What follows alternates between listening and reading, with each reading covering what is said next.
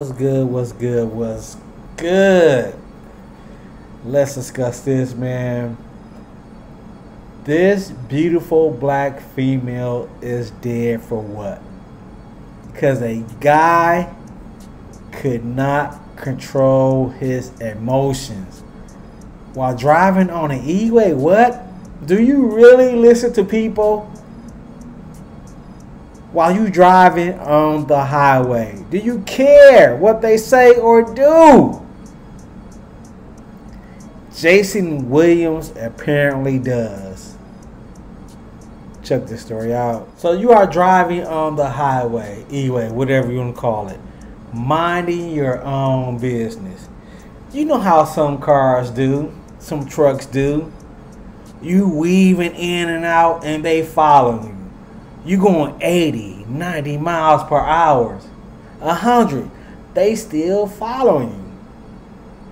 So you decide to slow down, raise down your window, point at the truck, at the driver. What the hell is going on? The driver looks at you,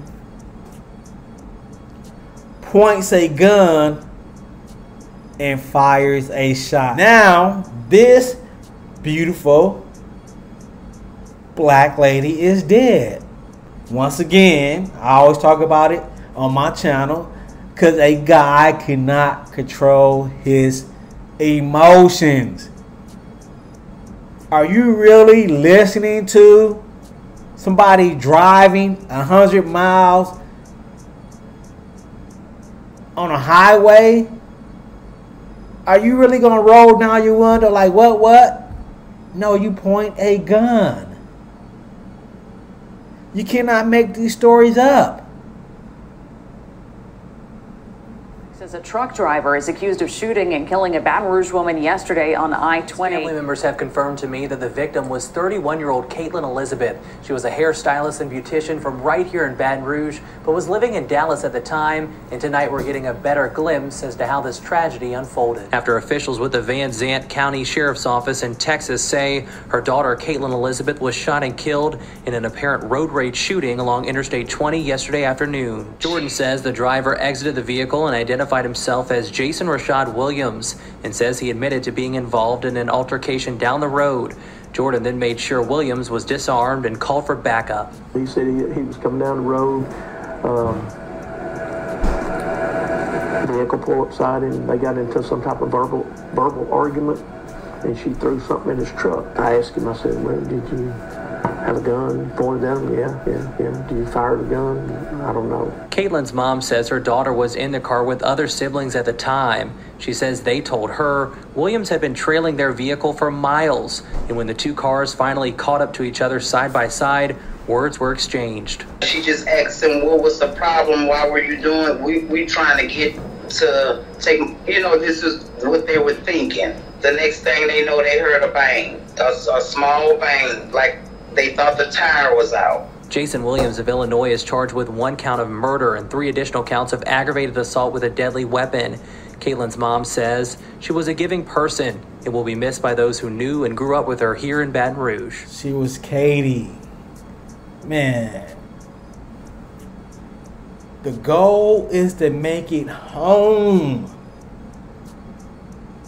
You don't have to always challenge every body. I know you tough.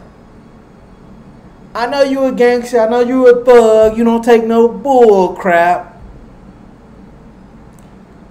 Make it back home to your family. I'm right or wrong. Make it back home to your family. You want to prove a point. You want to stand on it. Some things you just have to let go. You have to let go. You don't have to challenge everything. But in the black and brown community, we got to show all these people we tough. When somebody always tougher than you, crazier than you, this guy right here proved that. I don't know what the hell he was going through that day But Jason Williams, you are a whole ass nigga. Excuse the language. You a whole ass nigga. You driving down a highway. And you can't. you care what these people say? Come on, man. Shout out to this beautiful young lady family. You did not deserve to die that way, man. I'm right or wrong. Once again, shout out to this beautiful young lady, her family, her people. Man, black females. Man, black females get it. For what reason? They, oh man. Now I see why all these channels with black femicide, black female murders, and I see why, because god damn, the numbers are crazy.